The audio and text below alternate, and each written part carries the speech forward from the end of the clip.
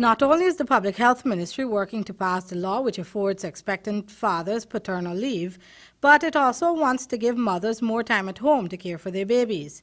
Listen to the argument put forth by Subject Minister Dr. George Norton.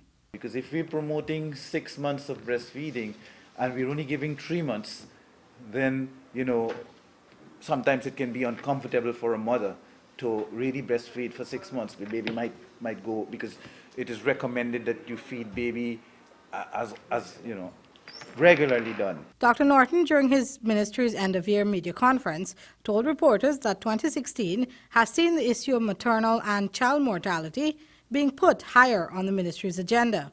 After maternal, then of course, the, the, the, the infantile mortality. Babies are dying. It is a fact. Babies are dying, you know, much more than, than, than is supposed to happen. So we have to not only look at the mothers, but we have to look at the babies.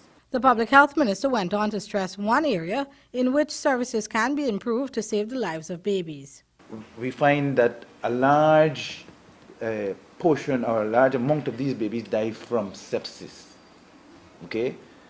Regardless of, of the fact that they might be preterm, you know, or, or so on, sepsis is the cause. So we are working in that direction. It is no secret that overcrowding at the Georgetown Public Hospital Corporation is a sore issue, particularly when this occurs in the maternity ward, where two babies and two mothers are forced to sleep on one relatively small bed, which results in mothers getting no proper post-delivery rest, as their nights are spent maneuvering their babies and taking turns lying down.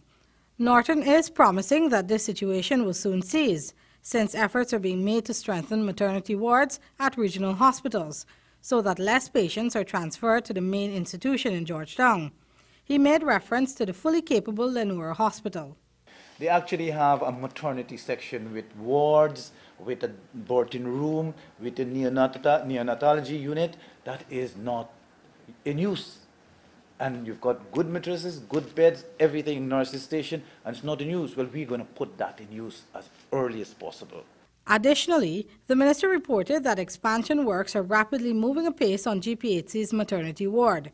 Approximately $235.9 million has been budgeted and is currently being expended on this project.